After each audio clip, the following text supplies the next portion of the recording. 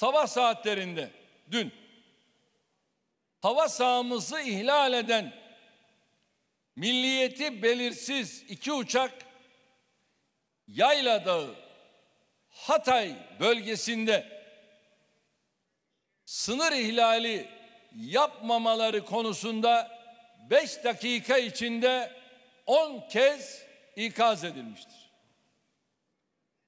Askeri makamlarımızın yaptıkları ikazlar üzerine bu uçaklardan biri tekrar Suriye'ye dönerken diğeri sınır ihlalini sürdürmeye ısrarla devam etmiştir.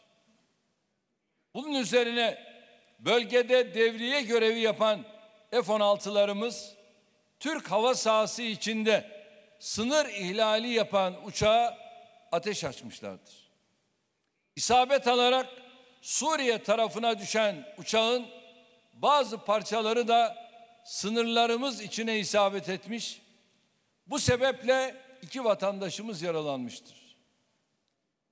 Düşen, daha sonradan Rus yapımı olduğu bilinen uçağın Rusya Federasyonu'na ait olduğu bu ülke makamlarının açıklamalarından sonra anlaşılmıştır. Olayın hemen arkasından gerek Türkiye olarak Birleşmiş Milletler Güvenlik Konseyi üyeleri ve NATO bünyesinde gerekli bilgilendirmeleri süratle yaptık. Şu söyleniyor. Orada DAEŞ'e karşı bulundukları ifade ediliyor. Bir defa Bayır Bucak Türkmenlerinin olduğu Laskiye ve Kuzey bu bölgede DAEŞ terör örgütü yoktur. Kimse kimseyi aldatmasın. Şu anda DAEŞ terör örgütünün bulunduğu bölge Cerablus ve doğusudur, onun güneyidir.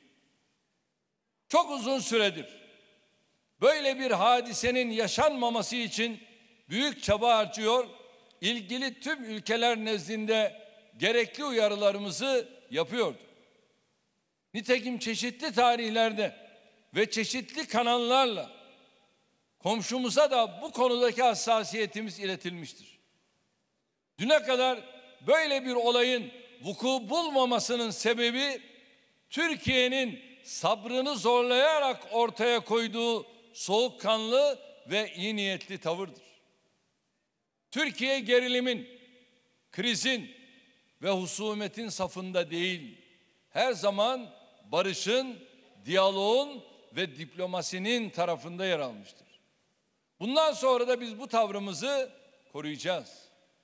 Hiç kimse bizden sınır güvenliğimizin sürekli ihlal edilmesine, egemenlik haklarımızın yok sayılmasına, hak ve hukukumuzun çiğnenmesine sessiz ve tepkisiz kalmasını beklememelidir. Bu hadiseyi tırmandırmak gibi bir düşüncemiz kesinlikle bulunmamaktadır. Sadece kendi güvenliğimizi ve kardeşlerimizin hukukunu savunuyoruz. Bir haftadır Laskiye kuzeyinde Bayır Bucak Türkmenlerinin olduğu bölgede sınırlarımıza doğru göç başlamıştır. Ve biz bu bombalardan kaçan oradaki soydaşlarımızı, oralardaki akrabalarımızı bir taraftan Hatay ve o bölgedeki kamplara almaya başladık. Bir diğer taraftan Suriye tarafındaki kamplarda barındırmaya ve Kızılay'ımızla onlara her türlü desteği vermeye devam ediyoruz. Bir diğer tarafta da tabii aileler bakıyorsunuz eşleri, beyleri hepsi bu topraklarının korunması mücadelesini sürdürüyor. Samimi olmamız lazım. Kimse kimseyi aldatmasın.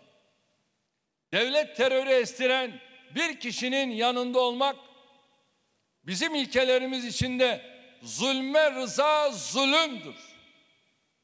Bunu bilmemiz lazım. Ve Müslüman o kimsedir ki elinden ve dilinden diğer Müslümanlar da emindir. El Müslimu men selimel müslimune min lisanihi o yedi.